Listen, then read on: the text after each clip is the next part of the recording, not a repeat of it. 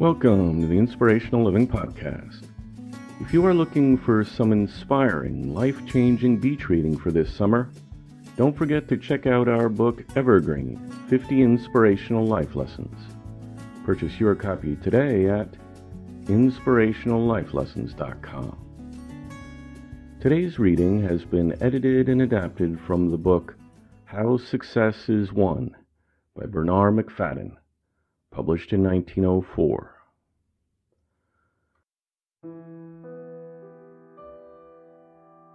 Life's greatest hurdles are encountered in our struggle for success. Though there are a few general principles that can be used as a guide, no person can tell another exactly how to succeed. Each one must work out their own salvation in this regard. The great successes are achieved by bringing out individual capacity or talents human beings who simply work by rule, who can only transmit that which has been impressed upon them by others, can never attain more than ordinary success. It is by developing one's personality, by bringing out your individual characteristics, that superior abilities are attainable. Some say that I have been successful. Early in life, I determined to accomplish certain results, and to a limited extent, I have succeeded. Even greater successes, I believe, are still in store for me. I am indebted to no school or college. I was educated in the school of experience. It is there that we learn lessons that are indelibly impressed upon our minds and this practical knowledge is needed every day of our lives. There is entirely too much theory in the ordinary methods of preparing human beings to cope with life's realities.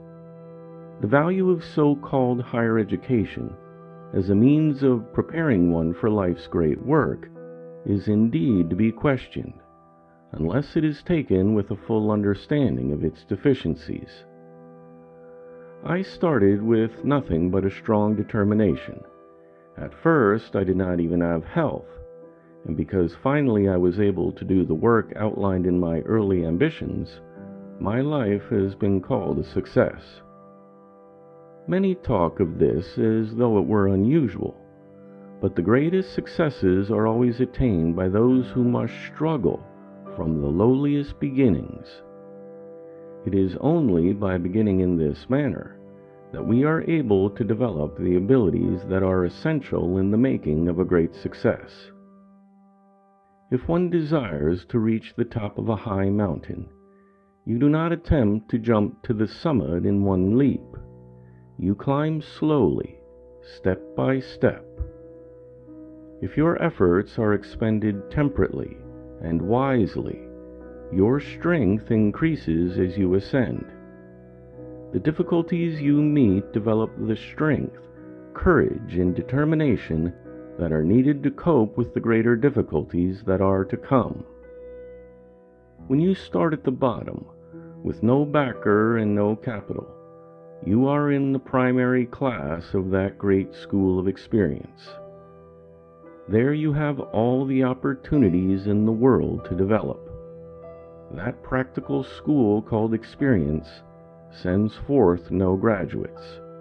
The school term never ends. It is continuous from childhood to death, and it is only those who are able to learn its great and valuable lessons who truly succeed. The whole world is before you. Life is exactly what you make it. If gifted with health and strength and an ordinary degree of intelligence, you are your own master. You can mold and develop yourself mentally and physically according to your own individual desires. My message today is sent forth with the hope that it will enthuse you who are struggling at the bottom of the ladder of life, and that it may help you to understand that the greatest rewards are easily within reach of those who are willing to struggle on persistently with a definite and unswerving aim continuously in view. In the strongest terms, I want to emphasize the importance of interest in your work. I maintain that without it, success was never achieved by anyone. The one straight road to success is to learn to love your business. You can do best that which you love best. If you have started in a business which you cannot learn to love, then you should go into some other business you will never succeed in our age of competition unless you can find real pleasure in your work. The mere making of money is not a sufficient incentive. You must find your highest enjoyment in the task itself. No person who works along that line can fade. That is my judgment based on my own experience and observation determination, persistence, attention to detail, in fact, nearly every necessary characteristic in accomplishing results in any sphere of life depends upon love for your work. Learn to love your work and don't be a laggard in love. Let that sentence ring in your ears day after day, year after year as you struggle towards life's great goal, success. And remember to immediately make a change if you are unable to love your work. Do not become a machine, a mere mechanical device that works in an aimless fashion, accomplishing only essential duties and losing all thought for the future. Put your personality, your brains, your complete energies into your endeavors. You must be able to so concentrate your efforts as actually to become absorbed.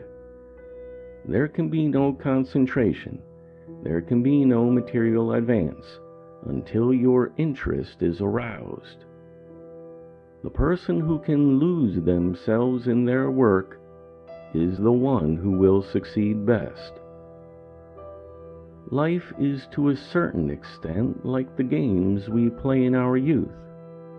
The occupation you select is a great game that lasts all through life, and your success absolutely depends on how intensely interested you can become. No matter what may be the nature of your occupation, arouse some interest in it. Try to do it better than your colleagues or competitors Try to devise some means whereby the work may be performed more quickly, easily, or effectively. Use your brains, no matter how your time may be occupied. Brains are useful in any sphere of life, even in digging ditches. The drill, plow, the backhoe were all devised by laboring people who use their brains, by individuals interested in their work. If you are engaged in an occupation in which you cannot become interested, make a change quickly. Do not consider the matter for a day. Stop at the earliest possible moment and search for something that will interest you. You may lose for the time being. You may have to suffer because of such a hasty action, but in the end you will be magnificently rewarded. Search for interesting work. For interesting work really means play, means ability on your part to concentrate your every effort in your chosen field. Success never was attained under any other circumstances. It has often been said that life is just what we make it. Though this may be an exaggeration, Usually we are the makers of our own joys and sorrows. Laugh and the world laughs with you. Weep and you weep alone is a quotation that has been repeated again and again. It contains a world of truth. It teaches also a valuable lesson to the individual. Your troubles assume the importance that you give them. No more, no less. If you are inclined to laugh them off, If you make light of them, they will affect you lightly. Stop making mountains out of molehills. If you have any troubles, laugh them off. Make light of them. Don't allow yourself to be blue and glum because of their influence. The problems they present will be more difficult to solve under such circumstances. Cultivate the laughing habit. Get all the joy from life you can. Some very dignified individuals imagine that it shows a lack of refinement to laugh heartily. Don't be a dignified fool. Throw dignity to the winds and cultivate the laughing habit. And above all, laugh when none but yourself knows how much quiet heroism there is in the outburst. But just the same, don't ever, under any circumstances, pet yourself with the notion that you are a hero. If the world doesn't discover your heroism, let the world remain in ignorance.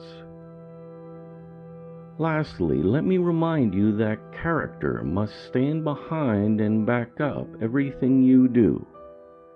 Many people may question the truth of the claim that true success must have a basis of unswerving integrity. These cynics or doubters will point to so called successful men and women who possess little or no integrity, to those whose greedy natures are insatiable and who care but little by what means they satisfy their grasping desires. But this is not true success. It does not bring satisfaction. It does not mean happiness. Those who are capable of stooping to such methods are narrow in mind and stunted in conscience, and full and complete happiness can never stir their souls. Honesty pays an actual business investment.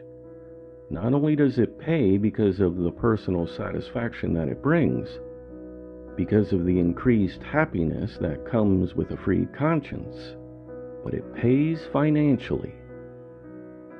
No matter what your desires may be, in order to be successful, you must adhere for a long period to a particular kind of work you must continue your efforts in one special sphere. If you are dishonest, this is difficult.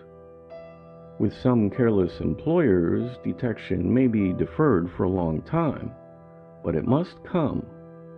And when it does appear, you are compelled to move on and start again at the bottom. There may be occasions when a dishonest act will enable you to reap a rich reward. I care not how much you may gain financially by this divergence from the path of rectitude.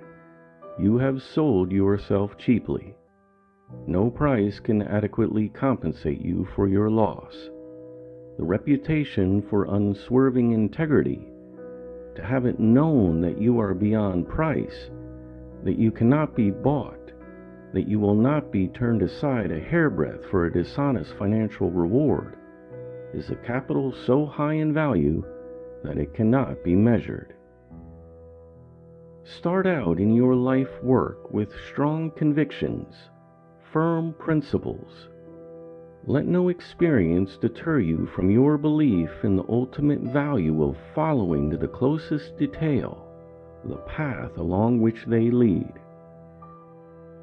If you possess the capacity for happiness, if you possess the principles of true manhood or womanhood and commit a crime against the dictates of your conscience, but little mental satisfaction remains for you thereafter. If you have been able to crush out all that is best in your nature, if that particular element of your character called conscience has been eliminated, may heaven pity you, for you are the dross of the world. The hog that wallows in the mire possesses superior characteristics to the human being who goes through life without high principles for a guide. It makes not a particle of difference whether you are a factory worker, salesperson, business manager, or waiter. you should start in life with unswerving determination to be just and honest to all. It actually pays in the end to follow out the golden rule of doing unto others as you would have them do unto you. For then the true principles that lead to real success, to the satisfying happiness that no amount of money can ever buy, are surely within your reach. Success that is true and satisfying comes only with honesty of purpose Make your convictions strong. Stand by them. Fight for them. Unswerving integrity will make a foundation for your career as hard and immovable as adamantine. And though you may struggle in the darkness for a time, never for one moment doubt that light shines for you ahead. Success, real, true success, must ultimately be yours. If a physical foundation is added to your unswerving purposes, you cannot fail. For with constant endeavor, and the clearness of mind that comes to those who are fully alive, and alert, and awake, the glimmers of light in the form of opportunity will be in every case clearly discerned. Success comes to those whose efforts are diligent and continuous to those who are guided by strong convictions, firm purposes, and unswerving integrity.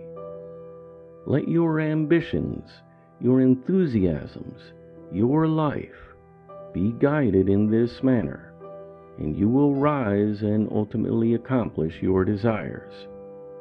You will reap the rewards of your efforts with absolute certainty.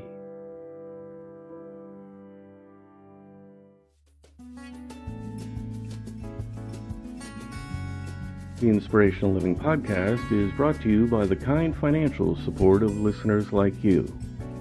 To help us continue and grow our podcast, please become a sponsor today. You can support us for the cost of a cup of coffee a month. Learn more at livinghour.org forward slash sponsor. Thanks for listening. I look forward to talking with you next time.